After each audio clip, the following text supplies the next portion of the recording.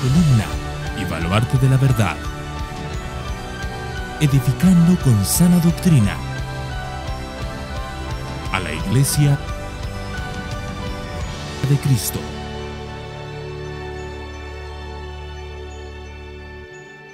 Estamos haciendo una pequeña serie dentro de la serie de Hebreos a la que hemos titulado Deberes Cristianos. Este sería nuestro mensaje número cuatro de creo una, unos siete que vamos a hacer y luego ya llegaremos a la conclusión de esta epístola.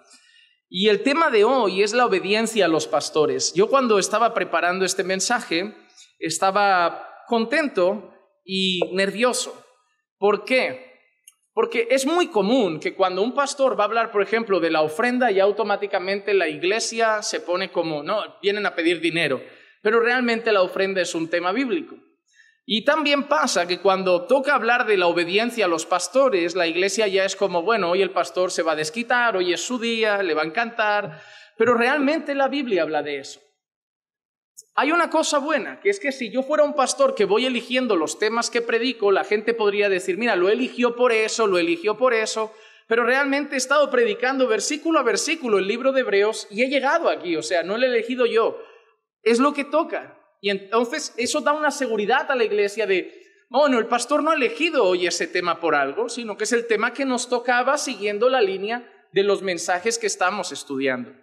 Pero sí que le pido al Señor que me ayude a tratarlo con total, total reverencia y que me ayude a tratarlo no mirando en intereses personales, porque esto no se trata de mí, se trata de Dios. Y estas instrucciones no las he dado yo, las ha dado Dios. Entonces son para agradarlo a Él más que a los pastores. Entonces quiero tratarlo desde esa manera. Y, trataré varios puntos dentro de este tema que espero que hagan despertar en nuestros corazones el sentir de la necesidad de honrar, acordarse y obedecer a nuestros pastores. Así que como es un tema que deseo que esté en nuestros corazones, voy a orar nuevamente por la palabra. Padre, queremos, Señor, ahora que prepares nuestro corazón para recibir tu palabra. No queremos, Señor, que ninguna palabra que salga de este púlpito sea movida por mis deseos personales. No queremos, el púlpito no está hecho, Señor, para mis propias ideas y pensamientos. El púlpito no está hecho, Señor, para yo aprovechar y decirle cosas que quiero decirle a la iglesia a nivel personal. Pero tu palabra, Señor, sí habla cada día y habla lo que necesitamos oír. Por eso te pido, Señor, que a través de tu palabra traigas convicciones bíblicas a nuestros corazones, que nos hagas entender cosas importantes sobre el tema de los pastores y cómo relacionarnos con los pastores. Entender, Señor, cuál es su posición y cuál es la nuestra también, cuál es su rol y cuál es el nuestro, y ayudarnos, Señor, a, a respetar también lo que tú quieres de nosotros como iglesia en ese sentido. Señor, no permitas que me desvíe ni a derecha ni a izquierda Líbrame, Señor, de verdad de corazón, líbrame de decir algo que no esté en tu palabra, Señor, porque yo sé que tú mides todas mis palabras y que un día rendiré cuentas por ellas delante de ti. Por eso dame el temor, el temor, Señor, y la reverencia que necesito a la hora de predicar, para que todo lo que diga pueda decir con convicción, así dice el Señor. Y te pido todo esto, Señor, en el nombre de Jesús. Amén, amén amén. Vamos a estar trabajando dos versículos, pero empezaremos con el primero, que es Hebreos capítulo 13 y el versículo 7. Hebreos capítulo 13 y el versículo 7. Y en esta serie de deberes cristianos, el autor de la epístola a los Hebreos empieza con esta indicación. Acordaos de vuestros guías que os hablaron la palabra de Dios y considerando el resultado de su conducta, imitad su fe. Hay algunas personas que consideran que este texto no aplica a los pastores porque realmente la palabra que utiliza es la palabra guías y no pastores. Y por lo tanto, hablar de pastores en este sentido sería un poco sacarlo para nuestro beneficio personal. Pero yo creo que realmente habla de pastores por dos motivos, porque en el versículo 24, y ese es el primer motivo, hay unos pastores definidos para esas personas. Hebreos 13, 24 dice, saludad a todos vuestros pastores y a todos los santos. Los de Italia os saludan. Hay una cosa interesante a la hora de que el autor a los hebreos está mandando su despedida y en la despedida quiere que los creyentes saluden a alguien, ellos definen dos grupos dentro de los que deben ser saludados. Saludad a todos vuestros pastores y a todos los santos. Cuando la Biblia se refiere a los santos, ¿a quién se refiere? A los creyentes. Así que vemos claramente una división, pues, como de dos grupos. No quiero que mencione, no, no estoy hablando de jerarquías. No estoy diciendo que unos valen más para Dios que otros, no estoy diciendo que unos son creyentes más importantes que otros, pero obviamente hay una división. Por un lado, hay un saludo destinado a todos vuestros pastores. Esto nos enseña una cosa. ¿Cuántos pastores había? No sabemos cuántos, pero más de uno. Y una de las cosas importantes a tener en cuenta en cuanto a la iglesia es que la voluntad de Dios nunca ha sido que solo haya un pastor. Sabemos que las iglesias suelen empezar con un pastor. Obviamente esta iglesia empezó con un pastor, muchas iglesias empiezan con un pastor, pero nuestro deseo desde que empezamos a, a pastorear es pedir a Dios otros pastores, porque es muy peligroso pastorear solo, por muchos motivos. Voy a decir algunos. El primer motivo es el cansancio. Pastorear solo es agotador.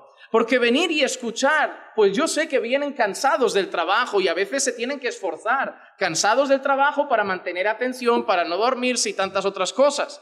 Pero preparar el material, estar aquí arriba enseñando, bajarte y preparar para el próximo, y bajarte y preparar para el próximo, y hacerlo todos los días de la semana. Y como ven, salir, hacer un viaje que hay que hacer, predicar 15 más y volver, y ahora un estudio y salir, y ahora un curso de membresía el domingo después del culto. Todo eso, una sola persona, juntado con las visitas, las necesidades de la iglesia, las visitas que hay que hacer a hermanos necesitados, la atención, todo eso más el cuidado personal, que tienes una casa, una familia, una esposa, cosas que atender, eso es agotador. Y, y, al final, físicamente, somos seres humanos. Y llega un momento en que uno puede acabar exhausto. Y cuando uno está exhausto, ya no rinde igual. Los mensajes ya no los prepara igual, ya no puede atender igual, ya no puede trabajar igual porque está agotado. Así que en primer lugar, pastorear solo es peligroso por el hecho del propio cansancio físico. Hay personas que creen que los pastores trabajan poco y realmente hay pastores que trabajan poco. Realmente hay pastores que trabajan pocos, pero, pero los buenos siervos del Señor trabajan arduamente. Es más, estoy seguro que algunos podrán pensar lo que sea, pero hago a veces más horas que otros de la propia congregación en sus trabajos a la semana. Es un trabajo cansativo, Emocionalmente es duro. Ese es el segundo motivo por el cual uno no puede pastorear solo. Porque el trabajo pastoral, el oficio pastoral, emocionalmente es durísimo. Porque tú tienes tus luchas y las de tu familia. Y si tienes eh, intimidad con un hermano de la iglesia y te cuenta sus problemas, te llevas también los problemas de ese hermano.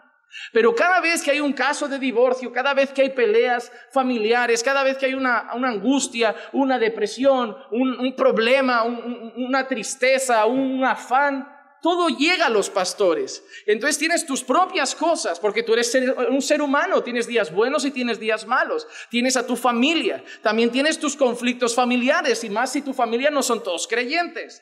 Y a eso le sumas las cargas emocionales de los hermanos, que no es una queja, hay que hacerlo. Es, una de las labores del pastor, atender el alma de esas ovejas. Pero a eso, aparte de la parte física, tiene la parte emocional. Si a eso le voy a sumar otra cosa importante, el tema del el autoritarismo o el volverte un dictador en la iglesia. Si tú pastoreas solo, y no ves la necesidad de que otros hombres se levanten a pastorear contigo la grey del Señor, puede ser porque en el fondo tengas complejo de dueño y empieces a pensar que la iglesia es tuya. Y empieces a pensar que el ministerio es tuyo, las ovejas son tuyas. Y entonces empieces como a cortar el bacalao, como decimos aquí en España, y creerte que tú eres el Señor de la iglesia, no Cristo. Tú eres la cabeza de la iglesia. Y yo tristemente he escuchado a personas decir, el pastor es la cabeza de nuestra iglesia. El marido es la cabeza del hogar y el pastor es la cabeza de la iglesia. No, hermanos, el pastor es parte del cuerpo de Cristo donde Cristo es la cabeza. Es el pastor, pero no es la cabeza. Cristo es la cabeza de la iglesia. Y la cabeza sobre todo poder y potestad. Entonces, a veces el corazón de un pastor que está solo mucho tiempo lo puede llevar a, descuidar su corazón un poco y volverse el dueño cuando no lo es. incluso llegan las preguntas de, ¿y entonces quién lo corrige a él? Si él hace cosas mal, ¿quién lo disciplina? Y si él se empieza a torcer en la doctrina, ¿quién le llama la atención? Y si él empieza a tener una actitud mala como marido, ¿quién lo sienta? Deben haber otros pastores que puedan levantarse también, ponerse frente a ese hombre y decir, mira, eso no está en la Biblia, esa actitud no es correcta, ese carácter no es de Dios, y puedan ayudarle, no solo corregirle, sino también ayudarle a decir, mira, esto no está bien. Por eso, cuando vemos aquí, habla a todos vuestros pastores. Hermano, no es conveniente pastorear solo. Entiendo que cuando se empieza la obra uno arranca solo, pero en cuanto el primer día llega, ya tienes que orar y decir, Señor, de todo lo que tienes que mandar a esta iglesia, manda a otros pastores. Manda a otros pastores. Y pastores, hermanos, nunca, nunca serán pocos. Si mañana aquí hay 12 pastores, 15 pastores, gloria al Señor.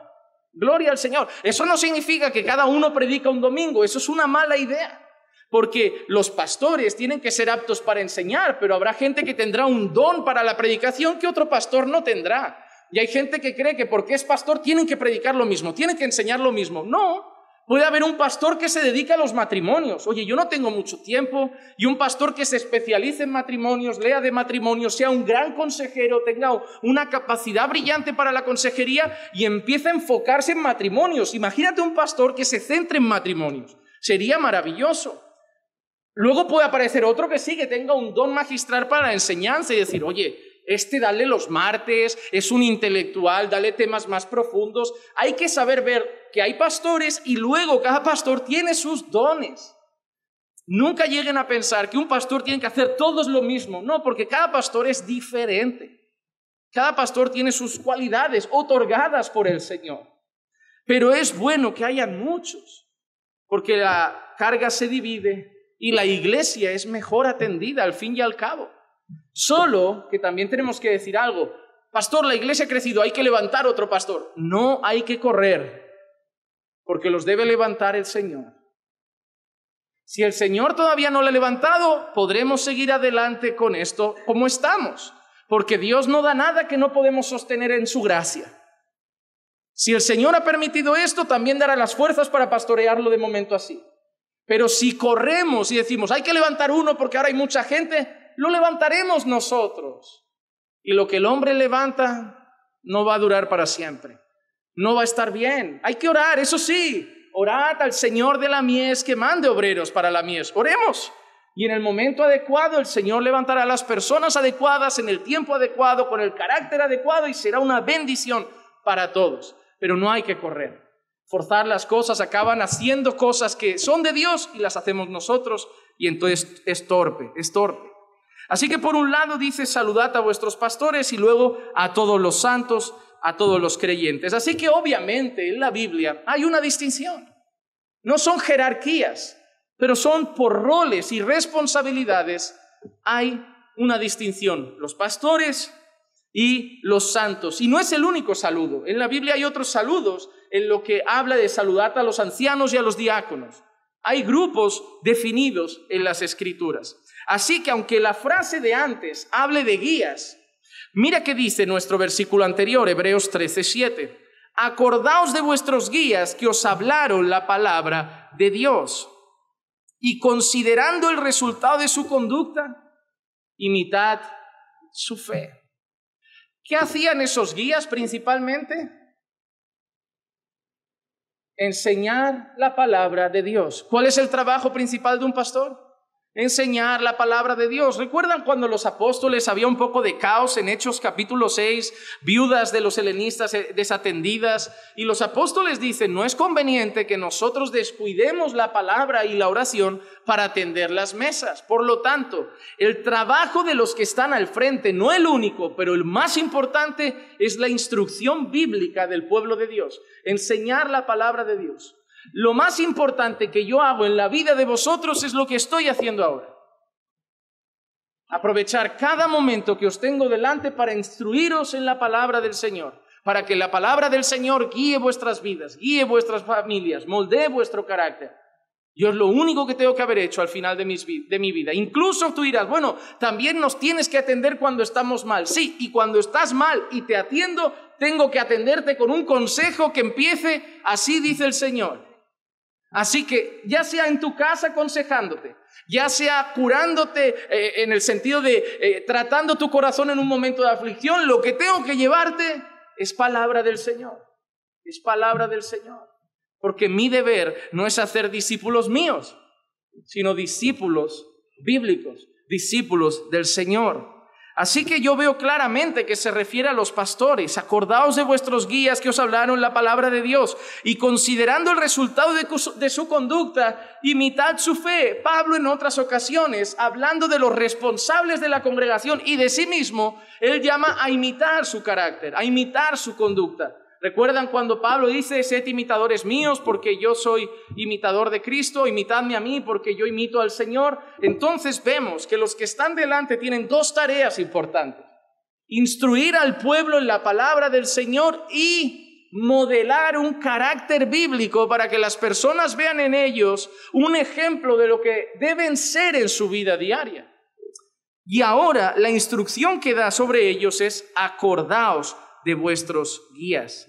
Acordaos de vuestros guías. Esto no lo debes entender literalmente en el sentido de, bueno, es como si se hubieran ido, ya no tienen contacto y quiere que se sigan acordando de ellos, que, que vean una foto cada día y se acuerden de sus pastores.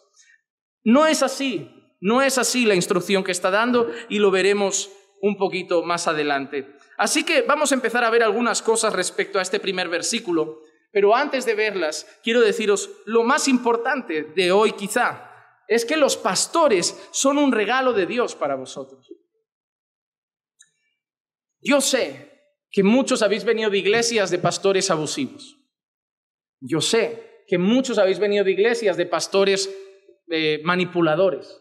Yo sé que muchos habéis venido de iglesias de pastores que amaban el dinero y os explotaban. Pero la Biblia habla de esos hombres. La Biblia habla de, aquellos hombres que se enseñorearán del pueblo. La Biblia habla de hombres que harán del pueblo mercadería, pero no son pastores. Tú no puedes decir, yo no confío en los pastores porque a mí ese pastor me dijo algo o me hizo algo o me trató así. Ojo, si lo que estás describiendo es un falso pastor, a ti los pastores no te han hecho nada. Tú has estado bajo el cuidado de un lobo al que tú llamaste pastor. Pero a ti los pastores no te han hecho nada, porque eso es lo que describes, no es un pastor de Dios. Hay mucha gente que dice, es que a mí me han hecho esto, en, los pastores me han tratado así, por eso yo ya no confío en los pastores. No, es que lo que tú estás describiendo no es un siervo de Dios. Es como si alguien dijera, es que a mí me violó un evangélico y yo ya no me confío en los evangélicos. Los evangélicos por naturaleza no son violadores y son nacidos de nuevo. A ti un hombre que iba a la iglesia los domingos te violó, pero no digas que los evangélicos te violaron. Tenemos la manía de porque iban a la iglesia o estaban en un púlpito o iban al culto, ya era un cristiano que me hizo, un pastor que me hizo, y no es así. Porque aquí hay trigo y cizaña. Hay ovejas, cabras y lobos. Y si te hicieron todo eso, lo que deberías decir no es un cristiano me hizo eso, sino un falso creyente me hizo eso. Porque cuando te encuentres con un creyente de verdad, te va a tratar con gracia, con amor, con misericordia. Cuando te encuentres con un pastor de verdad, no te va a manipular, te va a instruir, te va a enseñar, se va a preocupar por tu alma. Entonces verás lo que es. Pero también es cierto que algunos lo usan de excusa y pretexto. Pero la realidad es que los pastores son un regalo de Dios. Hermano, Dios da cosas, da bendiciones y los pastores son un regalo. Jeremías 3:15 dice, entonces os daré pastores según mi corazón, que os apacienten con conocimiento e inteligencia. Primera cosa, ¿quién da los pastores? Dios os daré pastores. Y los pastores que Dios da tienen una característica. ¿Cómo son? Conforme a mi corazón. El diablo tiene sus siervos y son conforme a su corazón. Él tiene instrumentos y son conforme a su corazón. Pero los pastores que yo os dé son conforme a mi corazón.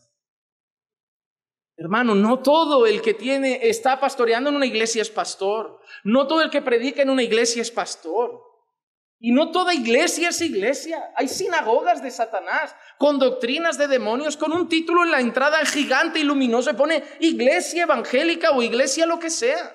Y hay hombres que se llaman pastor, maestro, apóstol, profeta y son instrumentos de Satanás. Por eso necesitamos la Biblia. Porque la Biblia nos define cómo es cada uno. Y no importa el título que tenga, por sus frutos los conoceremos. Y si Él dice que es pastor, pero el fruto es de lobo, es lobo. Porque lo que importa son los frutos. Pero Dios prometió dar pastores a su pueblo, guías. Y esos pastores eran hombres conforme a su corazón. Y lo primero que iban a hacer es apacentarlos para que os, no para que os trasquilen, no para que se aprovechen de vosotros, no para que os manipulen, no para hacer negocio con vuestras vidas, para apacentaros. El lenguaje es de un pastor y es el mismo lenguaje que usa muchas veces para referirse al Señor Jesucristo, el buen pastor que da su vida por las ovejas.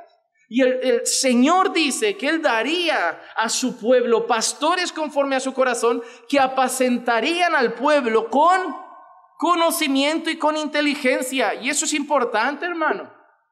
Un pastor no puede venir con cualquier discurso, sin saber hablar, sin saber, eh, sin conocer la Biblia, hablando cualquier cosa. No, el Señor dice que daría pastores que apacentarían con conocimiento e inteligencia. Ojo, no se refiere que antes de que alguien sea pastor hay que hacerle un test de, para medir el cociente intelectual. Ah, no, tú, tú eres, no llegas a listo.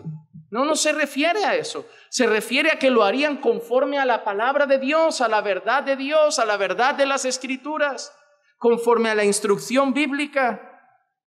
Pero hermanos, qué promesa. Os voy a dar pastores en un mundo en el que hablaba de falsos pastores, de falsos profetas, de gente que se aprovechaba del rebaño, de asalariados que solo querían eh, sacar beneficio de las ovejas. Dios había prometido que en medio de todo eso Él daría pastores conforme a su corazón.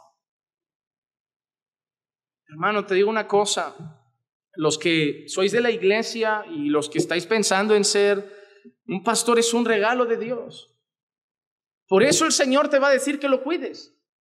El Señor no te va a decir que lo cuides como que te ha dado un dictador para que te manipule y tú te tienes que postrar a sus pies. El Señor te va a decir, cuídalo porque es un regalo para ti.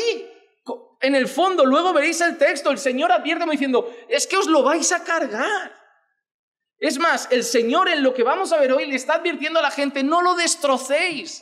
Os he dado un pastor conforme a mi corazón y lo que pide el Señor es por vuestro bien, dice, para que no se llenen de amargura, porque eso no será provechoso para vosotros. Y a veces pasa que el Señor nos da un regalo y nosotros lo estropeamos. El Señor nos da un matrimonio y ¿qué hacemos con él? Nos da una esposa y ¿qué hacemos con ella? nos da hijos. ¿Y qué hacemos con ellos? Son bendiciones de Dios.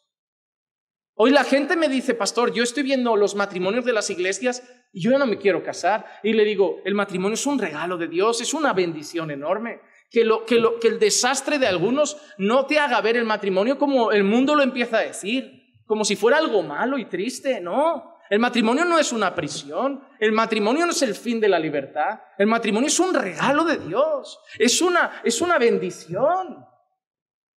El Señor habla de, la bienaventuranza, de la dicha de haber encontrado esposa. Lo que pasa es que nosotros recibimos las bendiciones de Dios y las destrozamos. Nosotros volvemos una bendición en una carga. Nosotros volvemos un regalo en un peso. Era un regalo, pero nosotros lo rompimos. Nosotros lo estropeamos. Nosotros lo hicimos complicado, algo que debería ser para nuestro bien. Nosotros somos tan pecadores que lo volvimos para nuestro mal. Pero no culpéis a las personas, culpaos a vosotros mismos.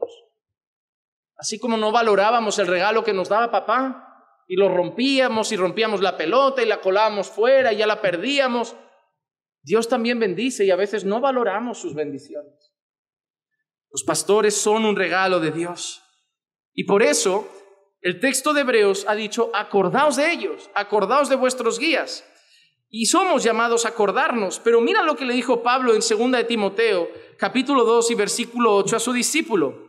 Acuérdate de Jesucristo, resucitado de entre los muertos, descendiente de David, conforme a mi evangelio, conforme a mi evangelio.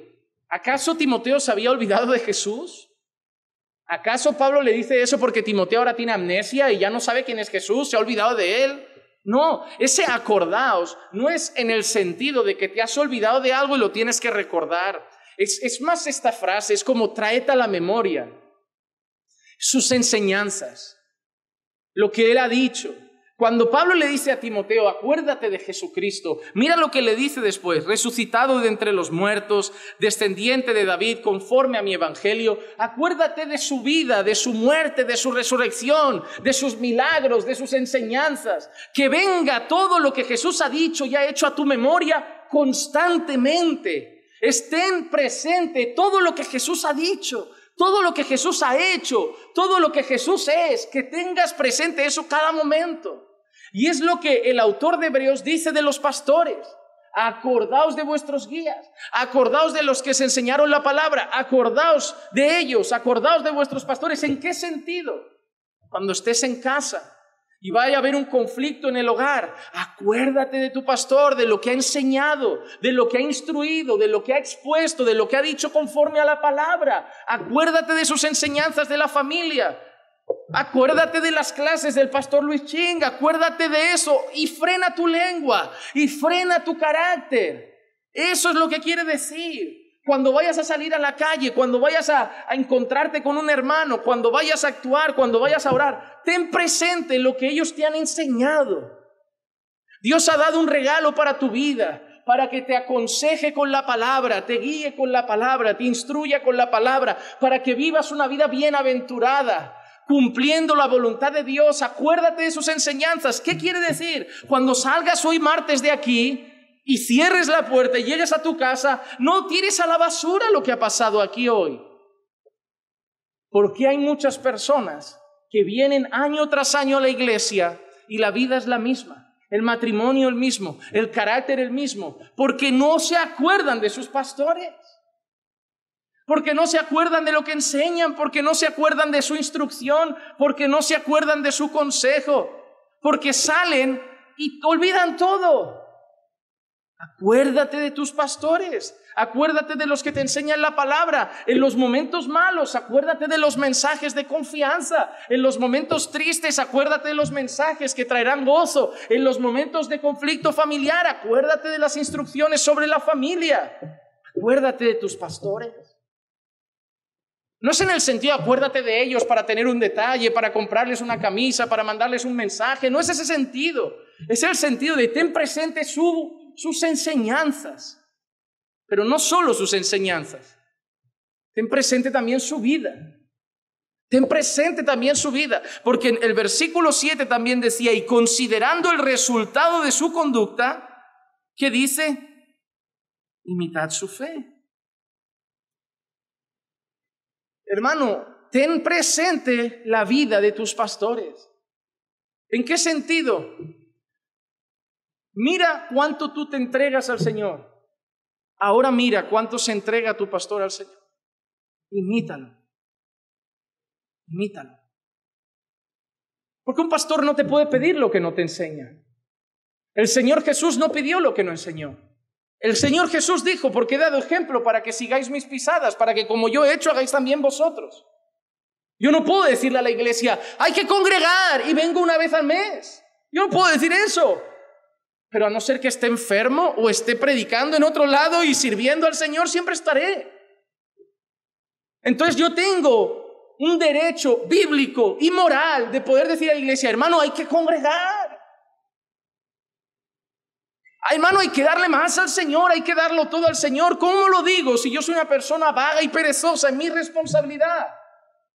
Pero si yo le demuestro a la iglesia que vengo temprano, que me voy el último, que siempre estoy, que una enseñanza yo la doy, curso de membresía yo también, y la gente no es para que mire al pastor y diga, pobrecito, qué cansado que va, es para imitarlo, espabilate. No es para decir frena, pastor, no, es para que tú espabiles. En algún momento yo os he dicho, no hermanos, tenéis razón, me voy a poner a vuestro ritmo. No, voy a, no bajo el ritmo, porque lo que quiero decir es tirad para adelante, que estáis lentos. Pero a algunos le encantaría que yo frenara, porque así, ay, así yo me exijo menos. Los hijos les encanta que los padres no tengan una buena moral, porque si el papá bebe, fuma, hace esto, él tampoco se lo puede exigir.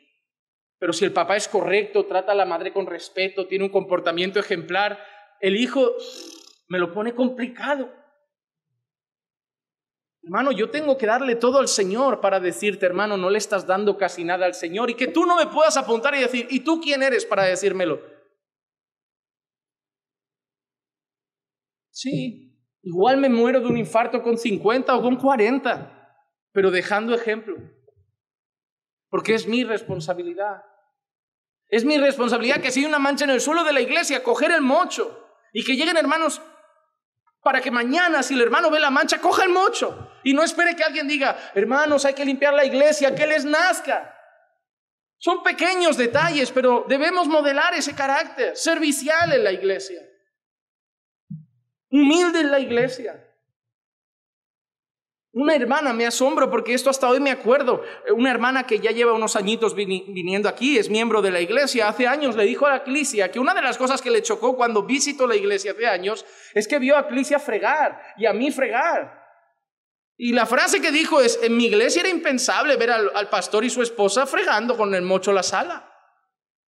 Y eso no era para alardear como, ¡guau, qué buenos somos! No, lo que me llevó a preguntarme es qué está pasando en otras iglesias.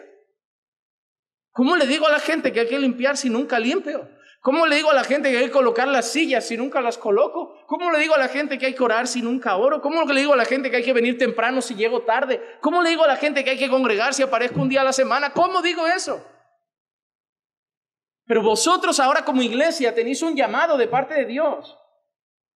Imitarlo. Porque Dios no quiere que la gente se quede sentada como diciendo, qué buenos pastores tenemos, de verdad, qué bueno. No quiere Dios que, que, que, se aplauda eso. Es que hermanos, esto no es para aplaudir. Es que uno dice esto y alguno piensa, bueno, está alardeando. No, es que esto es lo, es que yo creo que esto es lo que todo el mundo debería hacer. Es que yo no estoy diciendo nada extraordinario, no estoy diciendo que yo estoy construyendo el templo como el arca de Noé tocho a tocho. Es que lo único que hago es venir a la iglesia, estar siempre que puedo, esforzarme por servir a mis hermanos. Si algo se está sucio, lo limpio. Si una silla está mal puesta, la coloco. Si algo está en la basura llena, la vacío. Si hay un papel en el suelo, lo tiro. Yo es que no estoy diciendo nada extraordinario, estoy diciendo cosas básicas. Enseñar, orar, quedar con mis hermanos, estar siempre, tener comunión con la iglesia, participar de todo lo que puedo, servir en todo lo que puedo, enseñar todo lo que puedo y morirme haciendo esto. Yo no veo nada extraordinario, por eso cuando acabe nadie me aplaudirá, sino que simplemente el Señor dirá, siervos inútiles, habéis hecho lo que tenías que hacer. Es que esto no es nada extraordinario, es lo que se pide de vosotros.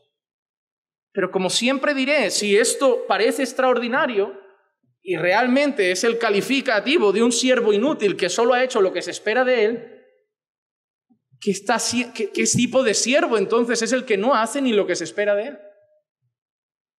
Hermano, porque bajo ese criterio, si el siervo inútil es el que hacía lo que se espera de él, el que, siervo que no está haciendo nada es menos que inútil. Eso es triste, hermano.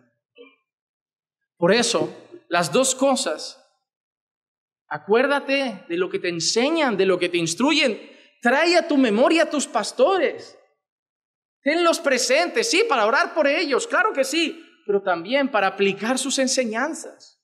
Y en segundo, su, su nivel de vida, su nivel de entrega al Señor. No de entrega a las redes sociales, al Señor, a la iglesia, a todo lo que veis cada día, a eso a eso e imitad su fe. E imitad su entrega. Yo sé, hermanos, que hay iglesias que os van a poner el listón mucho más bajo. Pero no vamos a bajar la vara de medir. Porque yo no voy a ver los pastores más flojos y adaptarme a ellos. Yo voy a ver al Señor Jesucristo y Él es el ejemplo. Y Él no descansó un día, Él lavó pies, Él enseñó mañana, tarde y noche y nadie dijo, wow, él simplemente vivió para hacer la voluntad del Padre. Ese es el ejemplo. Ese es el ejemplo que Jesús me dejó a mí, ese es el ejemplo que yo debo intentar vivir aquí y ese es el ejemplo que tengo que dejarte a ti para que tú también vivas. Así que no te admires si ves a un pastor que hace mucho, pide perdón a Dios porque tú estás haciendo menos. E imítalo y dale más al Señor. Dale más al Señor.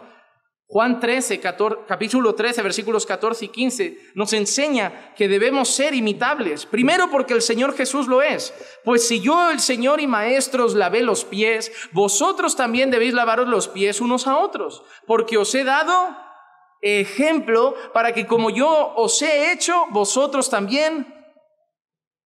Hermano, nosotros no hacemos nada espectacular, hacemos lo que el Señor Jesús nos dejó como ejemplo.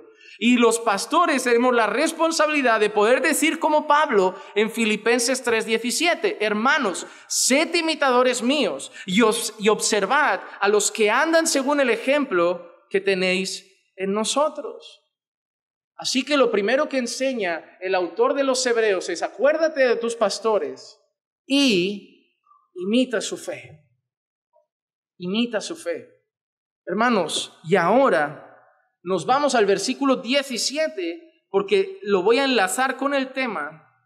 Y ahora sí vemos un llamado a la obediencia. Hebreos capítulo 13, versículo 17, y aquí no dice guías, aquí directamente dice pastores. Obedeced a vuestros pastores y sujetaos a ellos. Hay mucha gente por ahí que dice, no, pero esto no, no eran pastores de iglesias locales.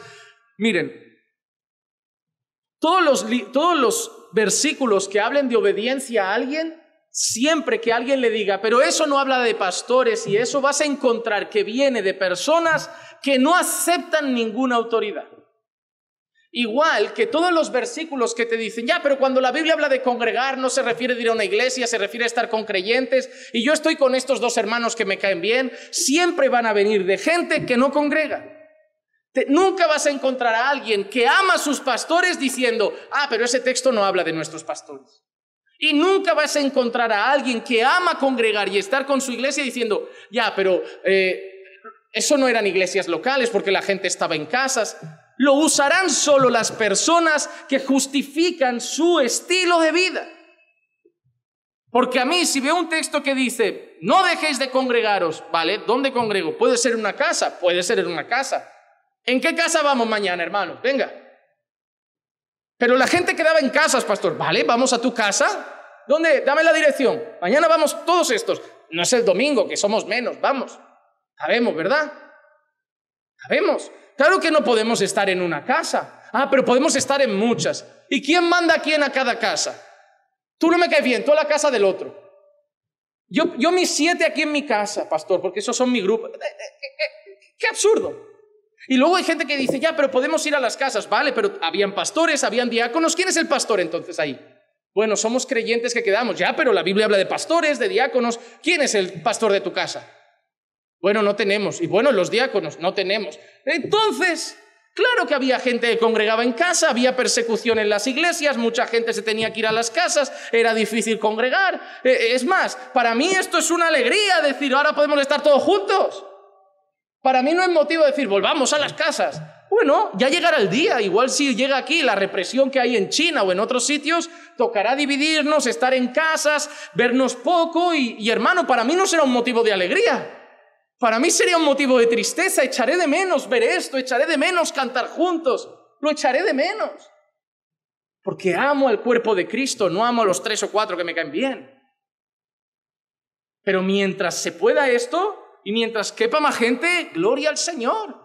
Si para mí cuando el domingo estamos cantando alabanzas juntos, que casi no se escuchan instrumentos, cierro por momentos los ojos y me parece que ya estoy casi en el cielo. Hermano, para mí esto es mi pedacito de cielo en la tierra. Yo no sé cómo hay gente que no le puede gustar. Obedeced a vuestros pastores y sujetaos a ellos. Ahora ya no es acordaos. Y estos hombres sabían qué pastores eran, de quién hablaba, porque hemos leído el versículo 24 que decía, saludad a todos vuestros pastores. Entonces, si cuando dice saludad a todos vuestros pastores, antes ha dicho obedeced a vuestros pastores, entendemos que para ellos era ese grupo de hombres, ¿no? Así que ellos sabían a quién tenía que obedecer. Y no solo obedecerles, sujetaos a ellos. Hemos hablado que eran guías que instruían en la palabra. Hemos hablado que eran guías de los que el libro de Hebreos dice, imitad su. Si se les puede imitar, serán malos o buenos de carácter. Serán íntegros, serán hombres de Dios, serán pastores como los que ha descrito Jeremías, conforme al corazón de Dios. Entonces, si a ti te dice, obedece a esos hombres, ¿no te supone un peso? Si son hombres dignos de imitar, si me instruyen en la palabra, claro, no tengo ningún problema. Hermanos, ¿cuándo a una mujer le cuesta obedecer el mandato de sujétate a tu marido? Cuando el marido es un desastre. Hay mujeres que hay que rogarles y decirle, hazlo por el Señor, ya sé que es una carga, ya sé que es difícil, pero para una mujer que tiene un hombre de Dios, sujetarse, qué difícil va a ser. Si tiene un hombre que la ama, que la cuida, que se preocupa por su bienestar espiritual y material, que la atiende, que intenta mimarla, que da su vida por ella, le va a costar sujetarse. Bueno, si le cuesta ya es que esa mujer es la prima de Jezabel, pero a una mujer de Dios no le va a costar. A una mujer de Dios no le va a costar, pero si tiene a un impío, a un hombre carnal, claro que se le va a hacer difícil. Cuando tú lees, obedeced a vuestros pastores y son un desastre, mal carácter, malos siervos, claro que dices, Depende del pastor, claro, pero si es un pastor conforme al corazón de Dios, tú vas a leer esto y a decir, no cuesta. Tampoco nos han pedido nunca que hagamos el pino o vayamos dando 800 pasos cuenta atrás o cosas raras, o sea, nos han pedido que oremos, que congreguemos, que amemos a nuestras esposas, que, que seamos mejores hombres, mejores maridos, mejores padres. Pues sí, es fácil de obedecer, porque lo que nos dicen ellos nos lo dice la palabra. Entonces, cuando obedecemos lo que nos piden, obedecemos lo que Dios pide. La obediencia a los pastores de alguna manera se vuelve obediencia a Dios. Pero estamos viendo que son pastores conforme al corazón de Dios. ¿Por qué? Mira lo que sigue diciendo. Porque ellos velan por vuestras almas. Eso es un tirano, es un mal hombre. No, mira cómo los describe. Personas que velan por vuestras almas. No velan por vuestro dinero. No vuelan por vuestras cosas materiales. Velan por vuestra vida espiritual. No es difícil obedecer y sujetarse a un pastor que vive preocupándose de mi bienestar espiritual. ¿Te has dado cuenta que cada, cuando cada uno hace su papel, todo lo que pide Dios es fácil? Estáis dando las clases de familia, yo he visto los materiales, todo. No es nada que realmente algunas cosas se han profundizado más, pero es muy parecida a la serie de la familia que dimos en la iglesia. Lo sorprendente es que algunos, después de haber hecho la vida, la serie de la familia en la iglesia y ahora esta, sigan viendo las cosas como, uh, tengo que cambiar. Tendrías que haber cambiado cuando hicimos la serie de la familia. Lo que me preocupa es que ahora te estés moviendo a cambiar con esto de ahora. ¿Qué ha pasado todos estos meses? No es falta de instrucción, no es falta de conocimiento, es mucho pecado. La realidad, hermanos, es que si todos hiciéramos nuestra parte, ser creyentes sería muy fácil. mira, cuando alguien me dice ser cristiano es duro y es difícil, digo, por lo menos en Europa no. Puede ser que en otros países donde hay persecución sea difícil. Aquí ser cristiano es súper fácil. Nunca ha venido alguien con una metralleta a impedir nuestras oraciones, que a veces decimos, oye, vamos a hacer un viernes extra. Nadie ha venido a impedirlo, se puede. Pastor, vamos al parque, ahora vamos al parque los viernes, jugamos, cantamos, nadie ha venido a echarnos. Y si hacemos una oración ahí, la gente mira y nadie dice nada. Ser cristiano aquí es fácil. El que me diga ser cristiano es difícil, no es, no es difícil, nosotros lo complicamos. Un matrimonio cristiano es el lugar donde tú sales del trabajo que, ves, que ves a 80 la carretera y dices, mira, a 200, tengo unas ganas de llegar a casa. Tengo unas ganas de estar en ese refugio, en mi nido, en mi lugar de paz, con mi esposa, mi amada, mis hijos. Pero ¿por qué dices al jefe, me quedo a hacer horas? El matrimonio es un regalo, pero nosotros lo estropeamos. La iglesia es maravillosa. La iglesia debe ser el lugar que dices tú, mis mejores días, hermano, te lo digo de corazón. Mis mejores días de la semana son martes, jueves y el domingo gana con diferencia. Yo acabo el culto el domingo y ya tengo ganas de que sea domingo. Ojalá todos los días fueran domingo. Y no por irme a la playa, y no por irme a, comer fuera, por venir a la iglesia. Pero hay momentos en la historia de la iglesia nuestra, de caminando por fe y en todas, que no da muchas ganas de ir. ¿Y qué ha pasado? Nosotros lo hemos estropeado, un chisme, una murmuración, una mala actitud, un pecado por aquí, una herida por allá. Nosotros hacemos que lo bueno y bonito que nos da Dios se vuelva feo. ¿Te has dado cuenta cuánto tenemos que luchar con nuestro pecado? Que sepas que tu matrimonio podía ser el paraíso, pero debéis dejar de comer manzanas o frutas prohibidas, mejor dicho. Sí, sí, nuestro matrimonio podía ser un paraíso, pero seguimos comiendo fruta. La fruta que Dios dije, no comas, el diablo nos pincha y comemos cada día. Y seguimos estropeando el Edén. Hermano, que Dios nos ayude a vivir de tal manera que podamos disfrutar de lo que Él mismo ha dicho, ahí vais a disfrutar. Pero si hacéis todo conforme a mi voluntad. Hermano, lejos de la voluntad de Dios no hay felicidad, no la hay. Pero donde está hecha la voluntad de Dios hay dicha, hay gozo. Por eso la eternidad va a ser gloriosa, porque ya no hay pecado. Y la única cosa que hace que aquí no podamos vivir esa eternidad gloriosa es que todavía hay pecado. Pero cuando resucitemos en gloria, ahí vamos a disfrutar. Pero la iglesia todavía tiene una ventaja y es que nosotros vivimos en el Espíritu. Y podemos luchar contra el pecado y podemos disfrutar un poco ya de eso. Que Dios nos ayude a que nuestra iglesia, familia sea un deleite. Así que hermanos, hay que obedecer y sujetarse a los pastores porque ellos velan por vuestras almas. Y mira qué responsabilidad tan grande lleva ahora, dice, como quienes han de dar cuenta. Obviamente la salvación es del Señor. Esto no está hablando de la salvación, pero hay una responsabilidad por lo que se os ha enseñado y cómo se os ha tratado. Por eso Santiago en una ocasión dice, ¿por qué queréis ser maestros muchos de vosotros? Mayor condenación hay. Porque todo lo que hagas referente al pueblo de Dios vas a rendir cuentas con el Dios del pueblo.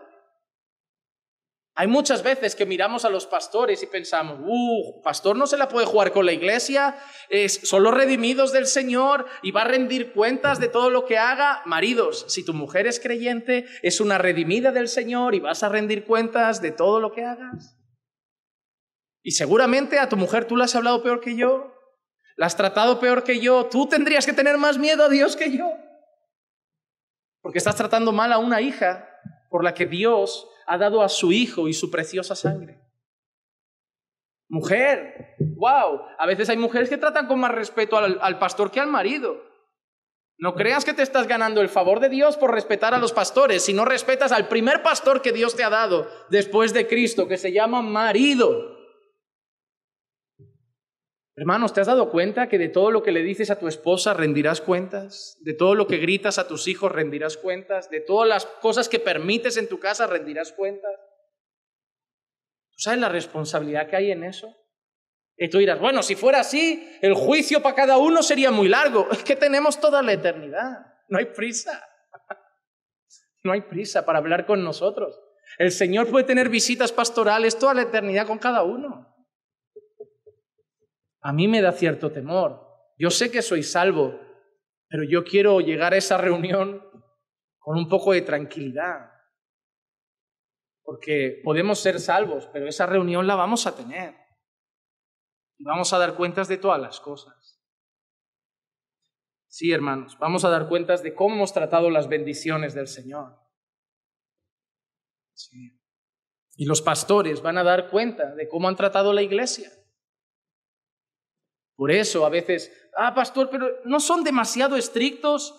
Sabes, yo voy a dar cuenta por esto. Déjame, déjame Porque yo prefiero que Dios me diga, y siempre os digo la misma frase, prefiero que Dios me diga, Juan Manuel, te has pasado estricto, me has tomado demasiado en serio, a que Dios me diga, Juan Manuel, te relajaste, no me tomaste demasiado en serio. Eso me da miedo. Entonces yo prefiero dar un pasito más atrás que acercarme demasiado al precipicio, porque si no me caigo. Pero mira lo que dice ahora. Después de decir que los obedezcas, que te sujetes a ellos, porque velan por tus almas como quienes han de dar cuenta, mira lo que dice, permíteles. ¿A quién? ¿A los pastores? Que lo hagan. ¿El qué? Que lo hagan el qué? Velar por tus almas. Apacentaros. Que lo hagan como quiere el Señor que apacentemos a las ovejas. Con alegría y no quejándose Ah, pastor, ¿has visto? Cuando te quejas, está mal, porque Dios no quiere que te quejes. Ya, pero aquí hay una cosa, que es que Dios sabe que vosotros, las ovejas, a veces podéis provocar que se quejen. Que son humanos y a veces es normal que como todo ser humano tienen un límite y un día se les vaya. Ah, pero Jesús tenía más paciencia. Sí, ya lo sé. Y por eso cuando me quejo, me arrepiento, aunque hayan motivos para haberme quejado. Pero es un juego de las dos partes. Yo debo luchar para llevar a cabo mi función con gozo, porque no hay nada mejor que un pastor feliz. Hermano, yo no quiero un pastor que se está quejando todos los días de la iglesia. Yo quiero un pastor feliz, feliz con el Señor, feliz con la iglesia, feliz en su matrimonio. ¿Tú no quieres un pastor feliz? ¿Tú no quieres un marido feliz, una esposa feliz? ¿Por qué los queremos felices? Porque cuando hacemos las cosas gozosos, las hacemos mejor. ¿Tú has visto a alguien trabajar a desgana? Dile a tu niño de 15 años que ordene su habitación. Acércate una hora después y vas a ver que como mucho le ha dado la vuelta a un calcetín. ¿Por qué? Porque no lo hace con gozo. Pero cuando uno ama su casa y vienen visitas y está feliz de que vienen visitas, uno limpia la cocina, va haciendo cosas en el horno y, uh, pone alabanzas, esa casa da alegría porque uno está gozoso. Todo lo que hacemos con gozo y sin queja, lo hacemos mejor. Mañana te levantas por la mañana, bueno, acabó el martes, vamos a por el jueves, vamos a estudiar y lo haces feliz para dar lo mejor, te rompes la cabeza, porque vienes y disfrutas de ver a gente tomando atención y aprendiendo y vidas cambiadas. Por eso dice, obedecerles y sujetaos a ellos para que lo hagan con alegría, sin quejarse. Y mira lo que dice ahora, porque eso no sería provechoso para ellos, para vosotros. Ellos van a seguir haciendo su trabajo, pero lo van a hacer de una manera que a vosotros no os va a dar tanto beneficio. Es tan sencillo como esto. Aquellas semanas, por las cargas espirituales, las luchas, tribulaciones y muchas cosas, hay un par o tres de momentos al año donde yo me siento muy, muy cargado, pero no enfadado con la iglesia ni con algún hermano, cargado, espiritualmente abatido, zarandeado, roto en mil pedazos y soy una persona que se encierra en sí misma, apenas saludo, vengo, me subo al púlpito, eh, canto como puedo, pero ni tengo fuerzas, predico de aquella manera que puedo y me marcho sin decir casi adiós. A nadie le gustó tener al pastor así una semana, diez días. Si yo fuera una persona que estuviera infeliz con la iglesia, sería así siempre. Vendría a cumplir. Pero a todo el mundo le gusta venir y que el pastor vaya, salude, se acerque, se preocupe, se ría, disfrute de estar con ellos. Hay un cumpleaños, vaya, quiera estar con su iglesia. Todo el mundo lo disfruta. Por eso es parte de la responsabilidad de la iglesia no mimarlo, consentirlo como si fuera el presidente de los Estados Unidos, simplemente obedecer su palabra, su conducta, imitarlo, hacer el ministerio fácil. Te digo por qué, porque el mundo ya nos lo hace difícil, porque los que nos odian ya nos lo hacen difícil, porque Satanás ya nos lo hace difícil. Si la iglesia se junta a los oponentes, ¿dónde vamos? ¿Dónde vamos? Es como mi casa. El mundo se me puede echar encima, pero si tengo iglesia a mi favor, yo puedo con el mundo, con el Señor puedo. Pero si una mosca se me apoya en el hombro y Clicia la tengo en contra, esa, esa mosca me tumba. Porque después del Señor es mi apoyo. Si el mundo me critica, Juan Manuel es así, hacen vídeos burlándose de mí, criticándome, no me importa. Pero si llegan esos vídeos, llego a la iglesia y me encuentro oposición, ya ahí sí que ya no, ya no levanto. Porque aquí está mi motor. Aquí está quién soy realmente. Lo que digan los demás no importa. Aquí están los que me conocen. Su opinión importa, porque ellos me ven andar. Lo que digan en un vídeo no, porque no sé ni, cómo soy. Ellos conocen un personaje, no una persona. Vosotros conocéis a la persona. Si vuestra opinión es mala, a mí sí que me va a doler. Porque digo, si los que me conocen piensan así, entonces yo me tengo que cuestionar cosas. Es, es un trato mutuo. Yo velo por vosotros. Los pastores os instruimos. Nos esforzamos por dar ejemplo, por velar por vuestras almas. Y vuestra parte es responder a eso con honra y obediencia. Y todos servir al Señor con gozo y alegría. Ama a tus pastores. Obedece a tus pastores, honra a tus pastores, acuérdate de tus pastores, pero para eso vas a tener que tener pastores. Y los trotamundos de iglesias no los tienen. Pero quiero dar unos detalles importantes y los voy a decir rápido por el tiempo que queda. El primero, cuando la Biblia dice obedeced a los pastores, es una obediencia limitada, no ilimitada.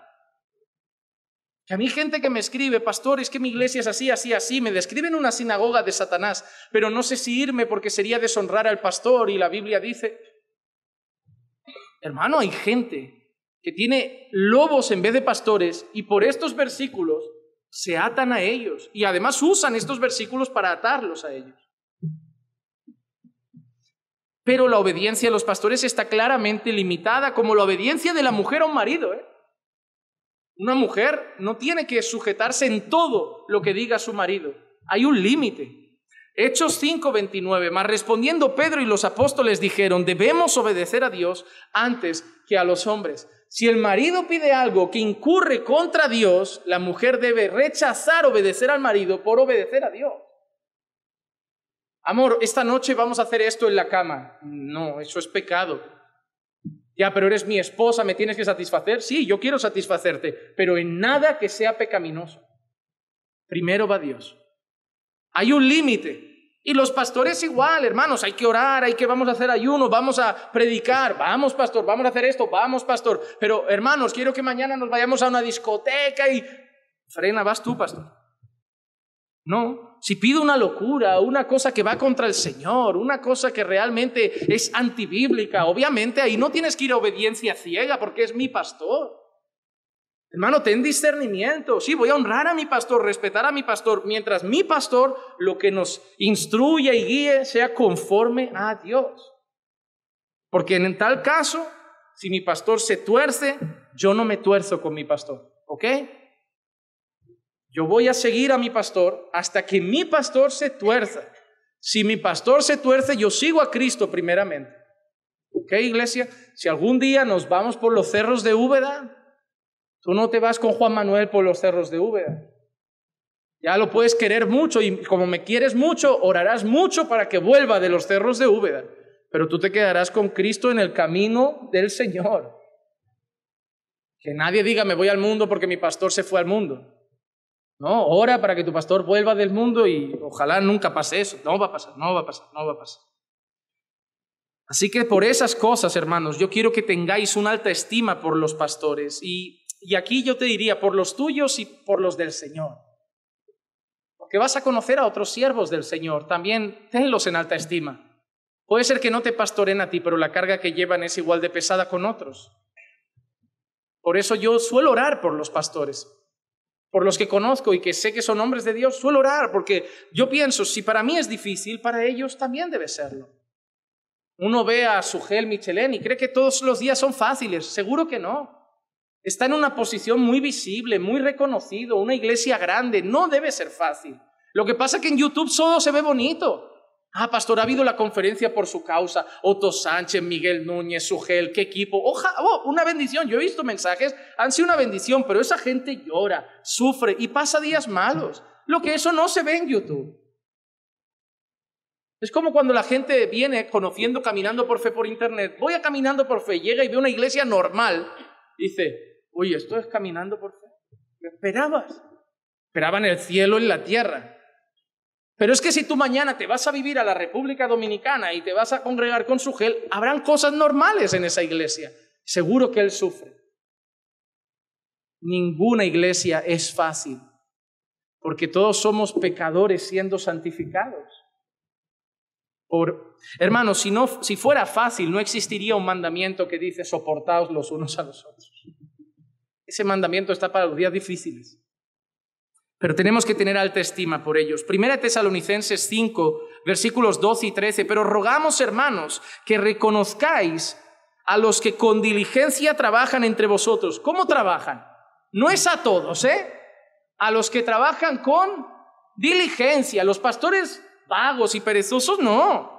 Pero reconocer a los que trabajan con diligencia y os dirigen en el Señor y os instruyen. Y mira qué dice, y que los tengáis en muy alta estima con amor. No por su cara bonita, no porque son los más carismáticos, no porque me ha tocado el pastor más majo y simpático del mundo, no te ha tocado ese, pero por causa de su No amo a Juan Manuel porque sea el... Mira, igual Juan Manuel, si no fuera mi pastor, no seríamos ni muy amigos. Pero por el trabajo que hace lo tengo en alta estima. Sí, porque personalidades hay diferentes. No todos somos iguales de afines. Cada uno tiene una personalidad. Yo hay gente, como lo digo, y esto no es tener acepción de personas. Yo hay gente que me siento, hermanos, venga, os cito para la entrevista, y digo, uh, se me han pasado dos horas así. Y hay gente que a los 20 minutos digo, no pasa el tiempo. A ese hermano que le dice, hermano, ¿qué tal? Bien. ¿El trabajo? Bien. ¿La familia? Bien. Y el silencio se dice. Pero no es que no lo quieras. Es que a veces no somos muy afines por la personalidad. Pero lo importante es esforzarse, ¿no? Por intentar tener una relación. Con uno será más difícil que con otros. Y hay gente que... Pero eh, la afinidad es una cosa que va mucho con la personalidad. No todo el mundo tiene que ser el igual de íntimo con todo el mundo. Esas cosas son... Debemos madurar un poco. Debemos madurar un poco. Por eso yo no tengo que tener en alta estima al pastor porque tiene la personalidad que más me gusta o es por causa de su trabajo. me gustaría que sonriera más, se le hincha demasiado la vena, eh, es muy nerviosito, pero trabaja bien. Entonces, lo tengo que tener en alta estima, se esfuerza. Eso es lo que yo tengo en alta estima, eso, que me, intenta dar lo mejor, se prepara los estudios, cuida de la iglesia, eso es lo que tengo en alta estima. Eso es lo que tengo en alta estima. Y mira qué dice, vivid en paz los unos con los otros. Eso es lo que deberíamos lograr, hermanos, llegar a vivir en paz. Si tú haces tu parte, yo hago la mía, viviremos en paz. Y te quiero decir tres cositas más muy rápido, muy rápido. La primera, como son importantes para ti, los tienes que tener en alta estima. Esto no es que solo aplique a los pastores, pero hay un texto que habla especialmente de ellos. Cuida su reputación. Un pastor debe tener buena reputación, si no, no puede ser pastor. Si la gente empieza a hablar mal del pastor, no debería ser pastor. Por eso, no debemos dejar que la gente destroce su reputación. Porque la primera característica de un pastor es que debe ser irreprensible. Si empezamos a hablar mal del pastor, no lo es. Entonces no debe estar ahí. Pero la, pregunta es, ¿lo que se está diciendo de él es fundamentado o son ataques de un corazón que no lo ama? Mira lo que dice 1 de Timoteo 5, 19 al 21. No admitas acusación contra un anciano. No significa que admitas cualquier cosa contra otro hermano, pero si hay algo separado es por algo. A menos de que haya dos o tres testigos. Si alguien viene a acusar a un pastor de algo, que venga con pruebas y testigos. No alguien enfadado con el pastor, con pruebas y testigos. Y a los que continúan en pecado, repréndelos en presencia de todos para que los demás tengan temor de pecar. Te encargo solemnemente en la presencia de Dios y de Cristo Jesús y de sus ángeles escogidos que conserves estos principios sin... Oye, qué interesante, que lo hagas sin... Hay gente que literalmente el pastor Juan Manuel le cae mal. y va a hacer lo posible para destrozar su reputación.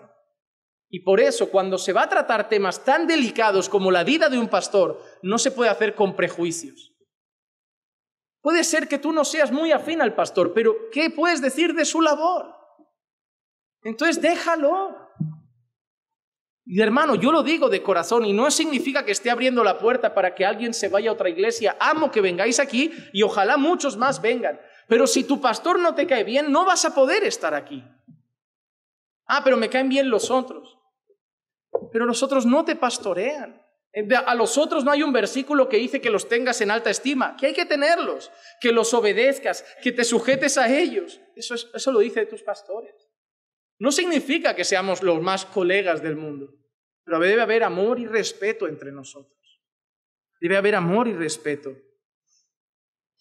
No haciendo nada con un espíritu de parcialidad. No admitas acusaciones a la ligera contra un pastor. Que empiecen a hablar mal en una mesa de tu pastor. Oye, no, eso es serio. Es el que Dios nos ha dado para velar por nuestras almas. Hay que cuidar su reputación. Ya hay muchos que tienen mala, pero hay que cuidarla. Obviamente, si son verdades, hay que sacarlo a la luz y tiene que ser disciplinado. No por ser el pastor es intocable. Si está haciendo malas cosas, roba, no es íntegro, pues hay que disciplinarlo como cualquier persona, porque un impío no puede estar pastoreando.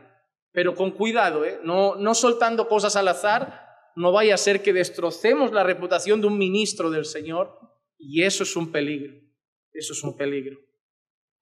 ¿Por qué? Ellos dicen que debíais tenernos en alta estima por nuestro trabajo. ¿Y cuál es nuestro trabajo?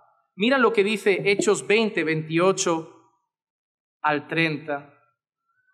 Tened cuidado de vosotros y de toda la grey en, medio de la cual el Espíritu Santo os ha hecho obispos para pastorear la iglesia de Dios. ¿Quién nos ha hecho pastores? A los pastores el Espíritu Santo, a los lobos Satanás. Pero mira qué tenemos que hacer, cuidad de vosotros y de toda la grey, la cual él compró con su propia sangre. ¿Te crees que esa tarea es fácil? Hermano, hay gente que cuida una empresa, hay gente que cuida un departamento, hay gente que es el metre de un restaurante, hay gente que es gerente de una tienda de ropa. Yo soy pastor de gente que ha sido comprada con la sangre del Cordero de Dios. ¿Tú crees que esto es para tomar a la ligera? ¿Tú crees que a mí no me da temor este trabajo? Porque si haces mal algo en una empresa, cierra, pero son almas redimidas del Señor. Y mira qué dice ahora, sé que después de mi partida vendrán lobos feroces entre vosotros que no perdonarán al rebaño y que entre de vosotros mismos se levantarán algunos hablando cosas perversas para arrastrar a los discípulos tras ellos. Debemos pastorear la iglesia. Pablo sabe que cuando él sale van a venir lobos. Y una de las tareas nuestras no es solo es instruir, es guiar, es apacentar y proteger de esos lobos. Hay que proteger de esos lobos. Por eso, porque debemos apacentar, porque debemos velar por vuestras almas, porque debemos hacerlo con diligencia. El Señor dice obedecerles y hacerles eso fácil, para que hagan eso con gozo y no quejándose. Pero los pastores no debemos olvidar que el Señor nos ha dado autoridad, pero no autoritarismo. Que somos líderes, pero no somos dictadores. Primera de Pedro 5, 1 al 4 dice, Por tanto, a los ancianos entre vosotros exhorto yo, anciano como ellos y testigo de los padecimientos de Cristo, y también participante de la gloria que ha de ser revelada. Mira lo que dice, pastoread el rebaño de Dios entre vosotros. Pastoread. ¿Cómo? Velando por él. Pero mira qué instrucciones. Número uno, no por obligación. Me encanta esa gente que dice, yo no quería ser pastor, pero Dios me persiguió. Digo, nadie te obligó, ¿eh? El primer requisito que ponía en los requisitos de un pastor es el que anhela obispado buena obra desea. Si tú no querías ser pastor, igual era un claro llamado a que no era para ti. Yo cuando un pastor me dice, yo no quería ser pastor, yo entiendo que tuvieras miedo. A veces lo que pasa es que no saben expresarlo. Da miedo, obviamente, da mucho respeto. No te sientes preparado. Es algo que está aquí y tú nunca vas a llegar a las expectativas. Claro que lo veo como, como cuando uno le dicen, cariño, estoy embarazada y tienes 20 años. Tú no dices, yo no quería ser padre, pero en el fondo no es que no quisieras, es que daba miedo, no estabas preparado, no veías que... Y hay gente que no lo expresa bien, pero si no quieres ser pastor, si yo voy a un hermano y digo, hermano, te veo como pastor. Ah, pastor, yo no lo veo claro. Hermano, ya no te veo como pastor. Me equivoqué. Bueno, pastor, a lo mejor no, ya no, ya no quiero saber dos veces, lo siento mucho. No, pastor, nunca más, nunca más. No querían, no quieren. O sea, yo tengo que lidiar con muchos que quieren y les tengo que decir, no te veo. Y uno que veo no quiere, pues ando mal, tengo que seguir orando. Uno de los responsables de Bélgica, del punto de misión, nos dijo, yo no me veo como pastor. Digo, ya está. ¿Ya no lo consideramos? No. Si él no se ve, yo tampoco. Porque yo no voy a estar ahí haciendo las cosas siempre. Venga, hermano, aguanta, es que la iglesia es difícil. No ves, yo no quería, pero el Señor me obligó, me llamó, insistió. Sí, el Señor está muerto de ganas. ¿Qué haremos sin Él como pastor? ¿Qué haremos en el reino de Dios sin Él pastoreando? Oh, si Juan Manuel nos deja, se vendrá el Evangelio abajo. hermano, no somos necesarios. Si todos nosotros dejáramos de cantar hoy al Señor, Escucha los árboles, que a veces parece que hasta cantan cuando el viento sopla. No nos necesita. Él tiene gente, gente no, pero tiene seres por ahí arriba que están todo el día santos, santos, santos. Y no se cansan, no desafinan, no van fuera de tiempo. Perfecto. Pastoread el rebaño de Dios entre vosotros, velando por él, no por obligación, sino voluntariamente como quiere Dios. Luego, no por avaricia del dinero, sino con sincero deseo que para, aunque la iglesia para algunos ha sido un negocio lucrativo, el buen pastor no busca lucro. Otra cosa importante, tampoco como teniendo señorío sobre los que os han sido confiados. Tú no eres su dueño, tú no eres su señor. Ah, pero me tienen que obedecer, pero tú eres su siervo. Eres su siervo sino demostrando ser ejemplo del rebaño y cuando aparezca, y esto a ningún pastor se le debe olvidar, que va a aparecer un día el príncipe de los pastores. Eso no se le debe olvidar a ningún pastor. Esa frase la debemos llevar en el corazón todos los que servimos al Señor. Un día el dueño viene. El dueño de las ovejas viene. El dueño de la iglesia viene. Así que a los que se creen señores ese día van a temblar. Porque cuando llegue el Señor, y le hayan dicho, este se creía el dueño, van a temblar. Porque el Señor no le dirá, buen Señor, le dirá, buen siervo y fiel. En lo poco has sido fiel, en lo mucho te pondré. Cuando venga el príncipe de los pastores, pero mira que le espera a los buenos siervos. Recibiréis la corona inmarcesible gloria. No, hermanos, sí, la Biblia dice que los obedezcan y se sujeten a ellos, pero no son señores, son siervos. Al Señor Jesús también dijo, sois mis amigos si hacéis lo que yo os digo. Pero ¿quién se negaba a obedecer a un Señor como Él? Amoroso, cuidadoso, que velaba por sus almas. Así debe ser el pastor de la iglesia local, que cuando la gente diga, tengo que obedecerlo a Él, es fácil, porque Él es fácil de obedecer, como Jesús era fácil de obedecer porque Él enseña conforme a la palabra, se desvive por nuestras almas, nos sirve y sirve a la iglesia del Señor y es un ejemplo a imitar. Que hoy el Señor confirme en nuestros corazones el trato que debemos tener con nuestros pastores. Vamos a orar. Padre, gracias por tu palabra, gracias Señor por permitirnos ir delante de ella con respeto y temor. Y te pedimos, Señor, que todo lo que hemos hablado hoy, Señor, sea confirmado por tu Espíritu en nuestros corazones que nada, Señor, sea dicho bajo la voluntad de los hombres y que todo lo que se haya dicho sea según tu palabra y tu voluntad, para que podamos tener como iglesia local los pastores con los miembros, los miembros con los pastores, la relación que tú deseas, Señor, para que podamos servirte y caminar juntos con gozo y alegría. Señor, perdónanos si en alguna ocasión en lo que debíamos hacer hemos fallado y ayúdanos, Señor, a rendir nuestros corazones para hacer tu voluntad.